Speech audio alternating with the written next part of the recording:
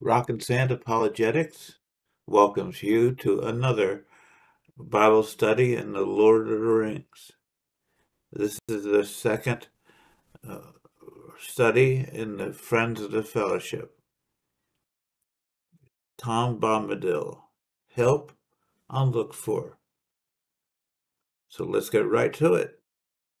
Say friend and enter.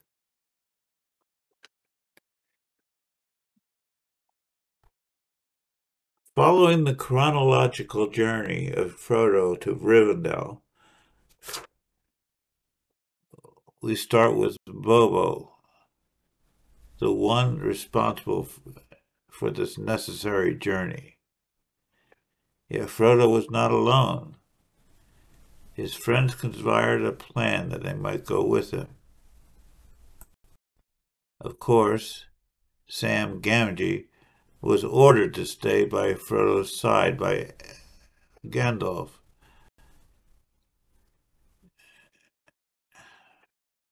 After uh, Sam was caught eavesdropping, Merry and Pippin were the uh, the chief conspirators who eventually joined uh, Sam and Fro- Frodo, deciding they should uh, go into the old forest they found the Black Riders were hunting the Shire for someone named Baggins.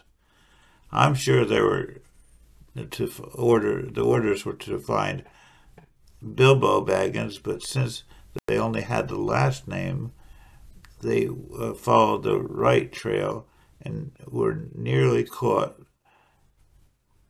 on more, more than one occasion. They ran into Tom Bombadil. Have you ever met someone who is always so happy that it almost makes you mad? If I were Frodo, I think that's how I would have felt about Tom. Sure, I would have been thankful for his help, but this joy that transcended the surrounding events would have annoyed me to no end.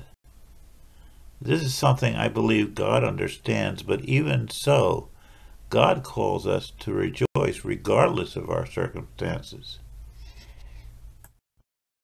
In Scripture, we have the Apostle Paul telling us to rejoice in the Lord always.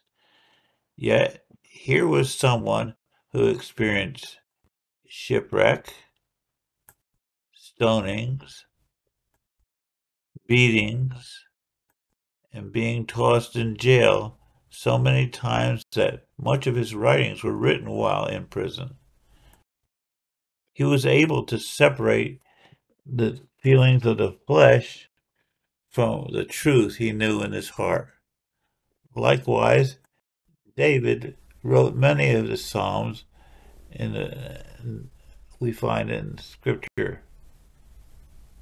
He began uh, by crying out to God and ended giving God all glory and praise. There are many examples like this. Who is Tom Bombadil? That's the big question, one left unanswered. What if Tom was just Tom? And by that I mean I don't mean a person, I mean a place.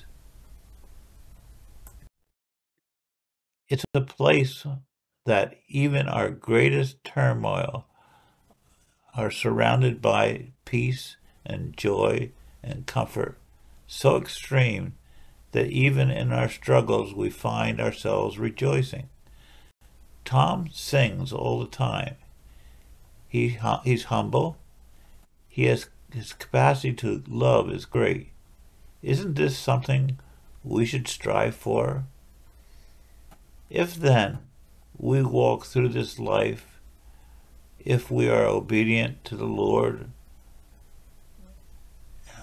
we should not be surprised that when in the depths of despair we find ourselves in the presence of the Holy Spirit, giving us strength not just to bear up under burden, but to sing a song of praise and rejoice in the Lord our God.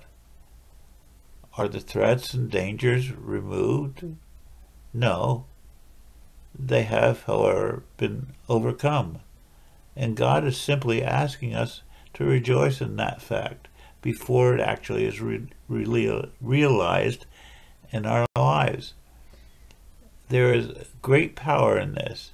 It is a great truth of Christianity that often goes overlooked.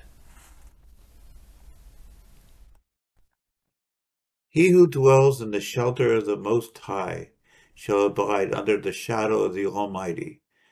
I will say of the Lord, He is my refuge and my fortress, my God in whom I trust. Because he has set his love upon me, therefore I will deliver him.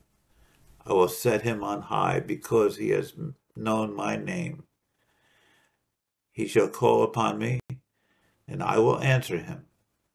I will be with him in trouble and I will deliver him and honor him. With long life will I satisfy him and show him my salvation. Psalm 91, 1 through 2, and 14 through 16.